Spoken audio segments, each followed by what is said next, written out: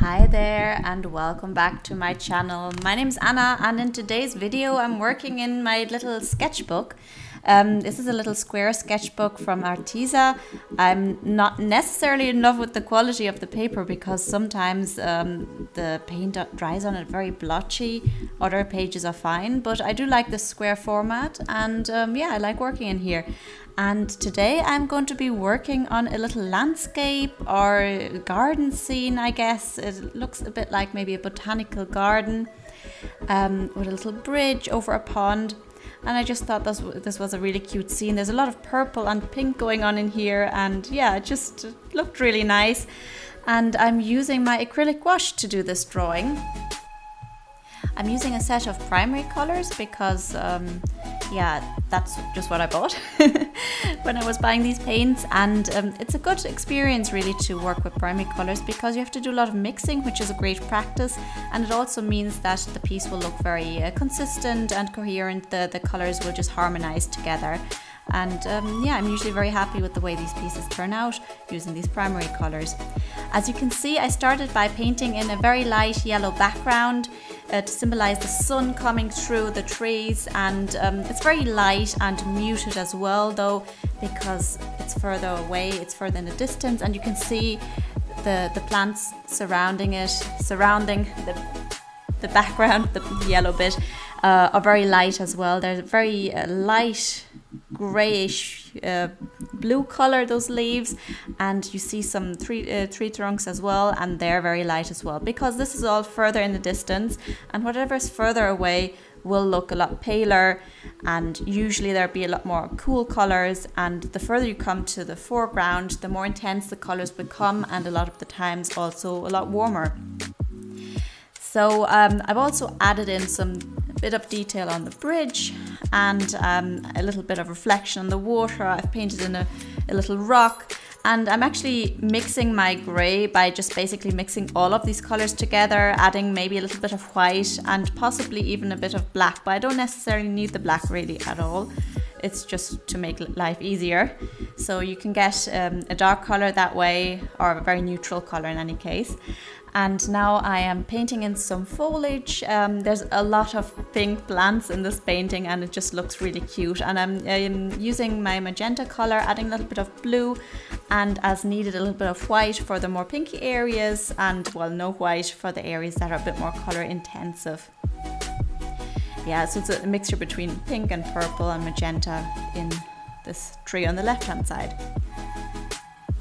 And I'm just using little dabbing motions to, to do the leaves basically. I'm nothing special just little dots of paint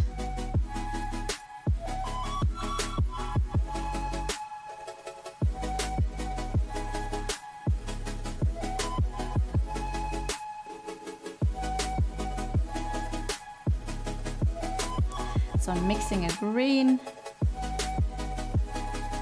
to add in little areas that are a bit more greenish.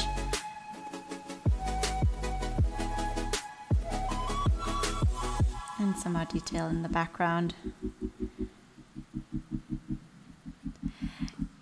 So if you don't know um, what acrylic gouache is, it's basically a crossover between acrylic paint and gouache.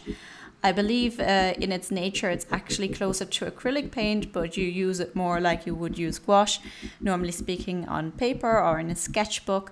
And um, it's a, a water soluble paint as long as it's wet. And um, yeah, what did I want to say? As long as it's wet, it's water soluble. As soon as it dries, though, it's permanent, so you can't re-wet it on the paper and that means you can do a lot of layering like you would with acrylic paint which is nice. You don't have to worry about the layers underneath being um, being lifted or colors kind of mixing into each other where you don't want that to happen. The disadvantage, of course, is that it dries quicker. I mean, it dries as quick probably as gouache would, but you can't re-wet it, meaning a blending might be a bit of an issue. You have to be fast, as you would with acrylic paint. And also it dries on your palette, when it dries on your palette, and it does that very quickly, you can't re-wet it. So you have to kind of discard those areas of the paint that have dried. If you try and re-wet it, you just end up with it a rubbery mess on your palette, so don't even try doing that. Um, which that well that can be a bit frustrating and it's a pity to throw away paint um, if you don't use it up quickly enough but I do really enjoy using this medium because I used to paint a lot with acrylic paint and um, don't so much anymore because it seems like such a hassle to get all the supplies out and your canvas and doing all the cleanup and this seems more approachable more like gouache painting. You just have your small little tubes you squeeze them out you paint in a little format on your sketchbook. Um, yeah I don't know it's just enjoyable and yeah of course it dries very matte as a gouache paint would which is the most um, the largest similarity to gouache paint I guess and also the consistency isn't exactly like acrylic paint. It seems more flowy, more like possibly gouache paint would be. In any case, yeah, it's a lot of fun to work with. um, yeah, you can see I'm also painting in some darker areas and uh, that's really nice to have a bit of contrast there. The tree, uh, tree on the right hand side is closer to the foreground, so it will be darker. And um, yeah, I've used some, some black, some yellow, and uh, just a mix of the colors that I have for that.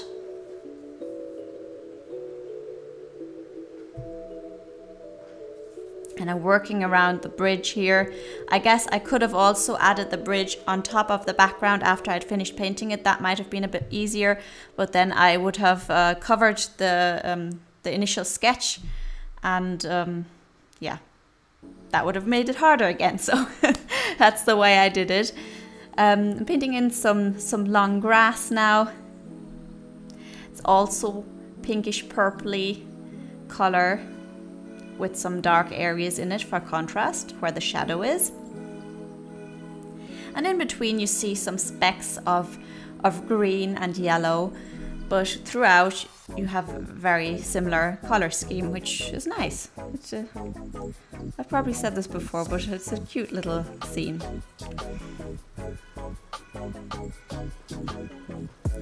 With um, any kind of gouache painting, of course, you're using usually a lot of white paint, and it's no different here.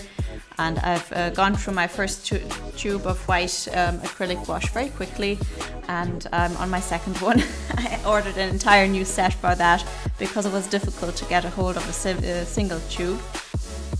I believe these paints came from Japan. I actually had to wait quite a while for them to arrive, arrive each time I ordered them.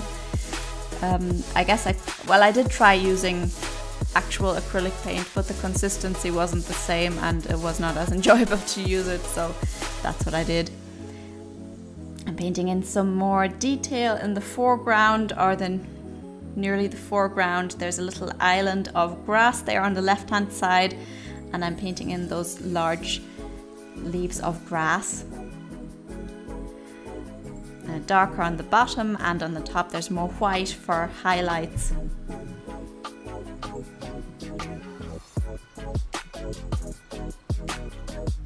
Painting in some more, more reflection on the water now. The water will normally speaking reflect what's around it so I'm just kind of using the same colors as I did in the scene just with a little bit more blue possibly and um, it's a bit more washed out obviously because it's water um, I don't have the exact details as the plants around it.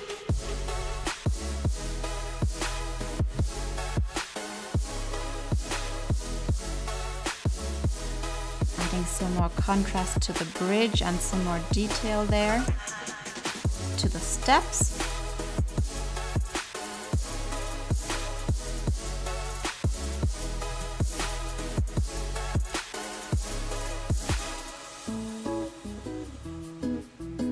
And just refi refining everything a little bit, but already I think it looks nearly finished and I think it turned out cute. It's a nice little sketchbook page and I enjoyed painting landscapes. It's very soothing and nothing has to look exact as maybe a portrait would have to or even an animal.